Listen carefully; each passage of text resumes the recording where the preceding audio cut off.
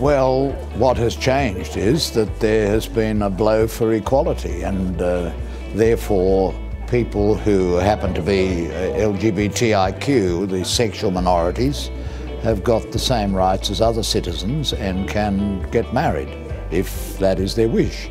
It's not compulsory, you don't have to do it, but uh, if you wish to do it, then it's available to you.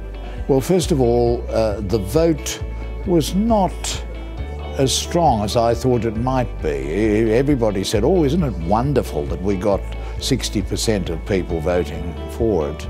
But that meant 40% voted against it. Uh, but it's interesting that young people say that uh, one of the best things that happened in 2017 is that our country voted for uh, equality for citizens who happen to be gay. How you balance the human right to religious freedoms with uh, the human right to equality as citizens uh, is a tricky question. And uh, how uh, the exemption doesn't become uh, a way of uh, eradicating the very big step that was taken in giving full equality in the matter of marriage is going to be something everybody's got to watch very closely.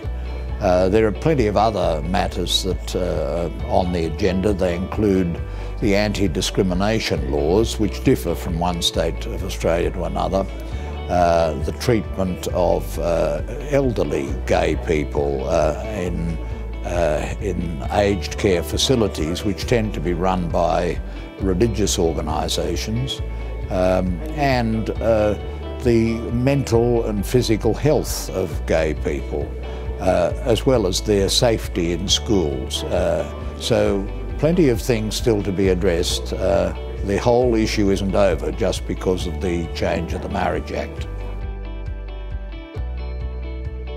When you get a document like the Universal Declaration of Human Rights, it sets out lots of fundamental freedoms and rights that everybody enjoys. But then you have to reconcile the claims of those different rights where they come into conflict.